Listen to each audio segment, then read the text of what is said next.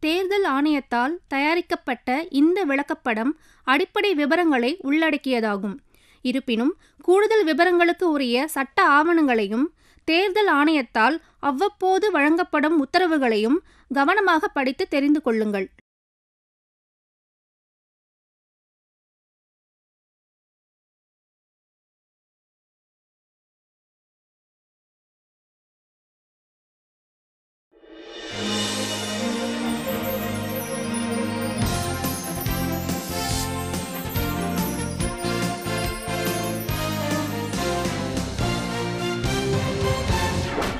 வாக்குப்பதிவு கருவியை பற்றி தெரிந்து கொள்வோம். மின்னணு வாக்குப்பதிவு கருவியின் மூலம் நாம் தேர்தலில் நிற்கும் வேட்பாளர்களிலிருந்து ஒரு வேட்பாளரை தேர்வு செய்வது மிக எளிமையானது. மின்னணு வாக்குப்பதிவு இயந்திரம் மூன்று மாதிரியாக உள்ளது. இரண்டாயிரத்தி ஆறுக்கு முன்பு தயாரிக்கப்பட்டவை இரண்டாயிரத்தி ஆறுக்கு பின்பு தயாரிக்கப்பட்டவை இரண்டாயிரத்தி ஆறுக்கு பின்பு தயாரிக்கப்பட்டு மேம்படுத்தப்பட்டவை. வெளிப்புற தோற்றத்தை பார்த்தால் அனைத்தும் ஒரே மாதிரியாக இருக்கும். காட்சி திரையிலும் கூடுதல் பட்டன்களிலும் வித்தியாசம் உள்ளது. அனைத்து மின்னணு வாக்குப்பதிவு கருவியின் மாடலிலும் இரண்டு அடிப்படை பாகங்கள் உள்ளன. ஒன்று பேலட் யூனிட் எனப்படும் வாக்குப்பதிவு கருவி. மற்றொன்று கண்ட்ரோல் யூனிட் எனப்படும் கட்டுப்பாட்டு கருவி. இந்த இரண்டு கருவிகளும் இதற்கென தயாரிக்கப்பட்ட பிரத்யேக சைட் லாச்சஸ் கொண்டு பாதுகாக்கப்பட்ட பெட்டியினுள் வரும். இதனை இப்படித்தான் திறக்க வேண்டும்.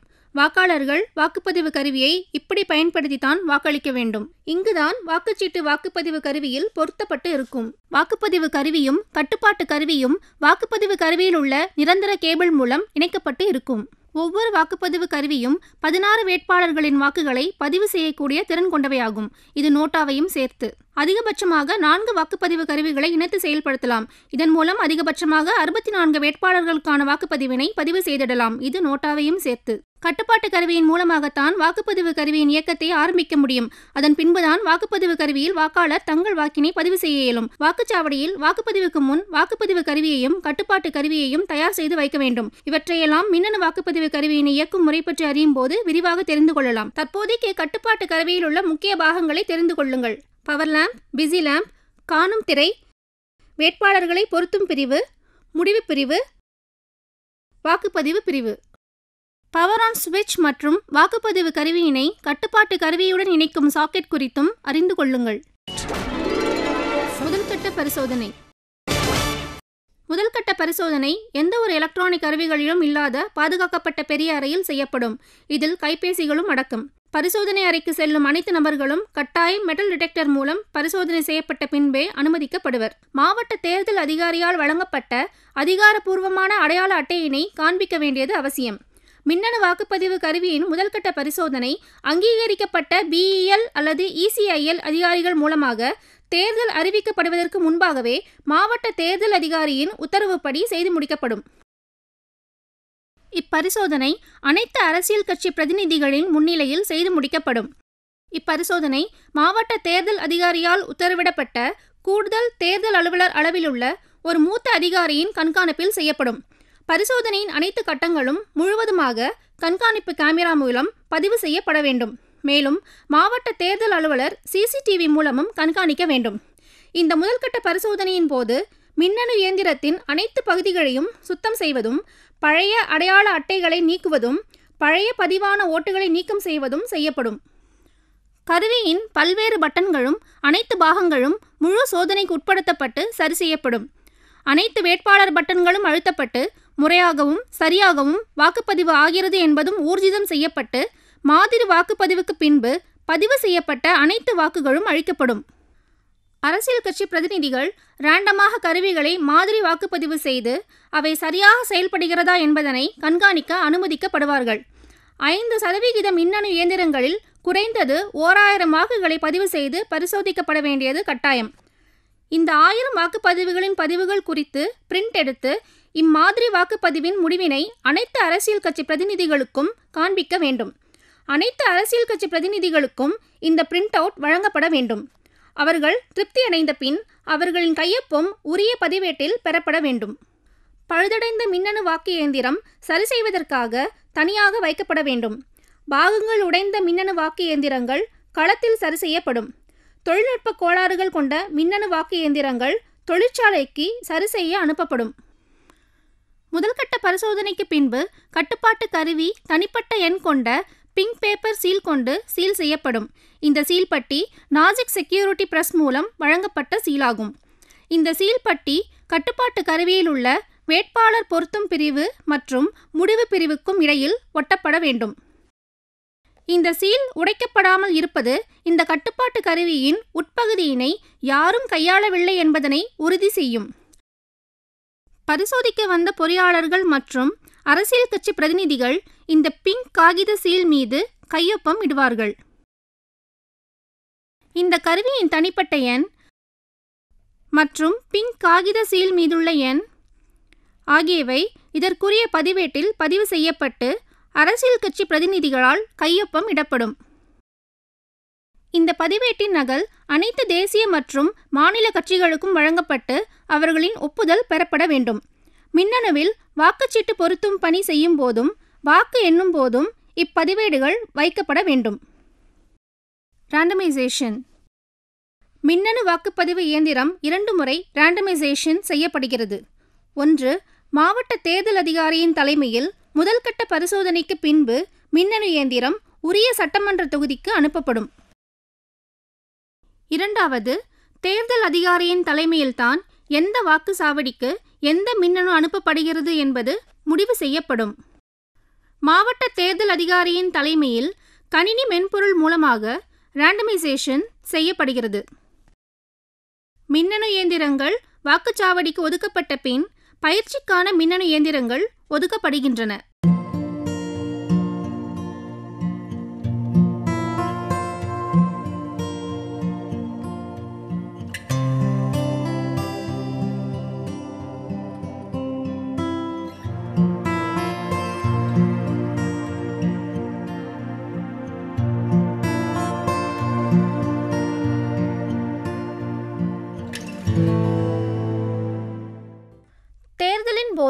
வாக்குச்சாவடியில் பயன்படுத்தப்படும் மின்னணு இயந்திரங்களின் பின்புறத்தில் பச்சை நிற ஸ்டிக்கர்கள் ஒட்டப்படும்.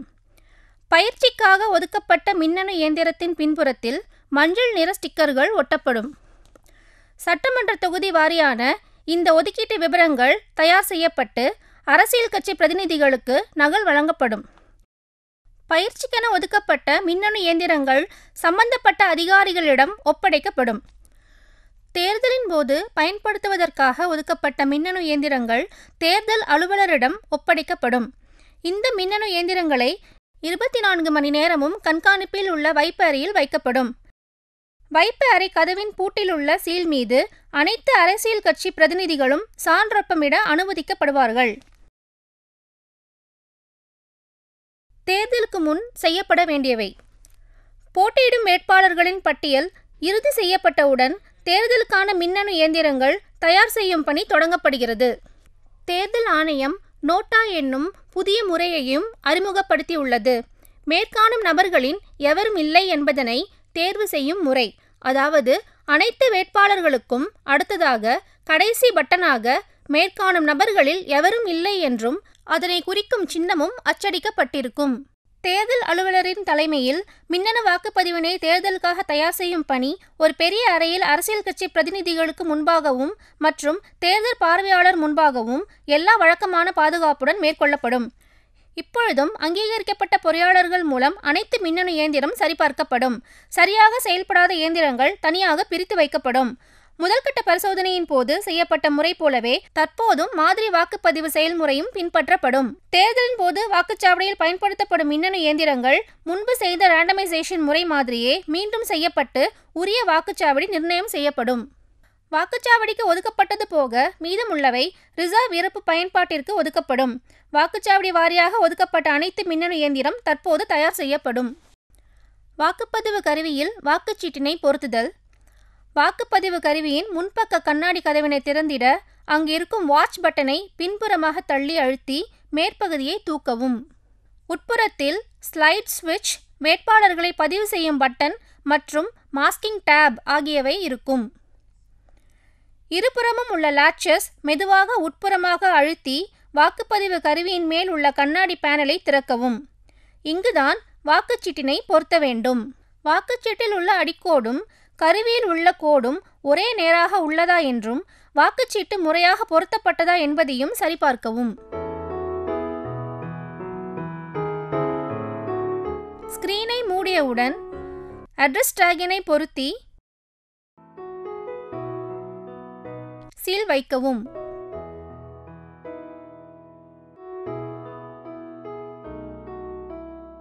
ஒரு வாக்குப்பதிவு கருவிக்கு மேல் பயன்படுத்த வேண்டிய அவசியம் எழுந்தால் நீங்கள் வாக்குப்பதிவு கருவிகளை கேஸ்கேடிங் முறைப்படி தொடர்ச்சியாக இணைக்க வேண்டும்.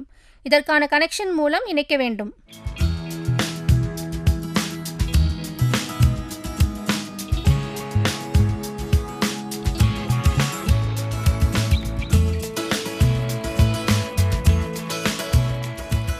இப்பொழுது வாக்குப்பதிவு கருவியில் உள்ள ஸ்லைட் ஸ்விட்சை உரிய போட்டியிடும் வேட்பாளர் எண்ணிக்கையின்படி அமைக்கவும்.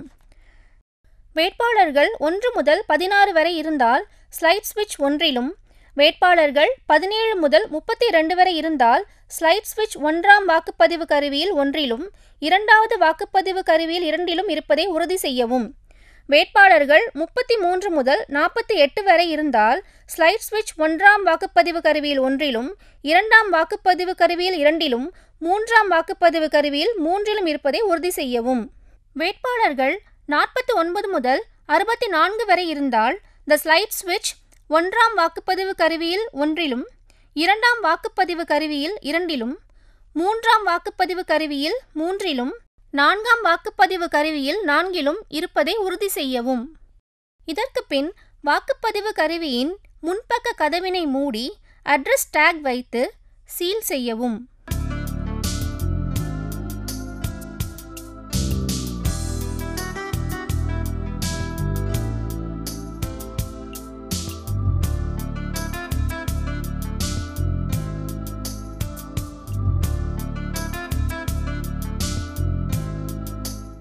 அதன் பின்பு வாக்குப்பதிவு கருவியினை நாசிக் பிரஸ் மூலம் தனிப்பட்ட எண்ணுடன் வழங்கப்பட்ட பிங்க் காகித சீல் கொண்டு பதினாறாவது வேட்பாளர் உள்ள பகுதிக்கு கீழ் அதனை ஒட்ட வேண்டும். ஒட்டும்போது வேட்பாளர் பட்டனை மூடாமல் பார்த்து கொள்ளவும். இப்படி சீல் வைப்பதினால் இந்த கருவியின் உட்பகுதியினை யாரும் சீலை உடைக்காமல் அணுகாமல் இருப்பது உறுதி செய்யப்படும். மின்னணு தொழிற்சாலையின் பொறியாளர்களும் வேட்பாளர்களும் அல்லது அவர்களுடைய பிரதிநிதிகளும் இந்த சீல் மீது கையொப்பம் இடுவார்கள்.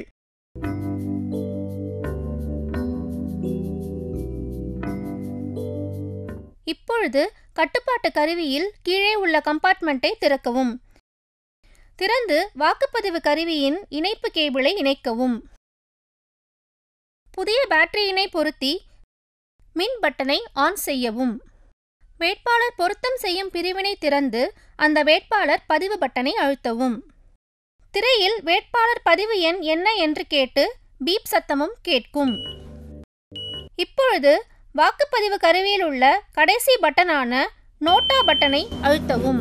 அதாவது மொத்த வேட்பாளர்கள் நோட்டாவையும் சேர்த்து ஐந்து எனில் திரையில் வேட்பாளர்கள் ஐந்து என்று காட்டும். மாறாக திரையில் இன்வாலிட் என்று வந்தால் அதனுடைய அர்த்தம் என்னவென்றால் இந்த இயந்திரத்தில் பழைய பதிவு செய்யப்பட்ட தகவல்கள் அழிக்கப்படாமல் உள்ளது என்று அர்த்தம். இந்த சூழ்நிலையில் க்ளோஸ் பட்டனை அழுத்தி திரையில் போல் க்ளோஸ்ட் என்று வருகிறது என்பதை உறுதி செய்யவும். பின்பு ரிசல்ட் பட்டனை அழுத்தி முடிவு அனைத்தும் காண்பித்து முடியும் வரை காத்திருக்கவும்.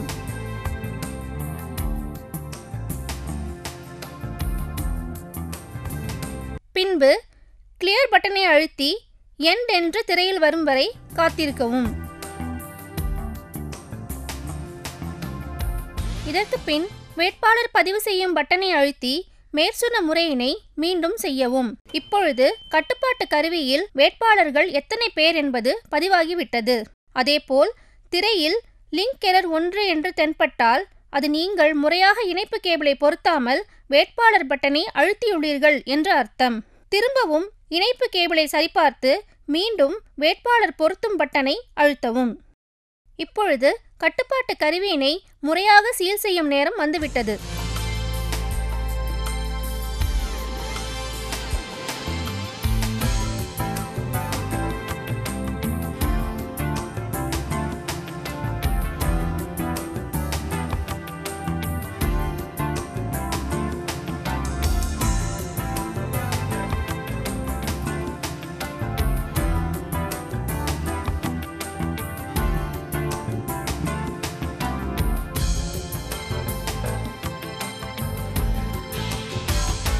அட்ரஸ் ட்ராக் பொருத்தி அவற்றின்